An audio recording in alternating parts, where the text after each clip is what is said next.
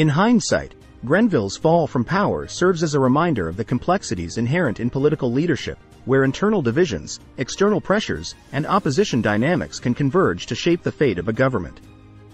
While he faced criticism and challenges during his time in office, the legacies of Grenville's policies endured, leaving an indelible mark on the historical tapestry of early 19th century Britain.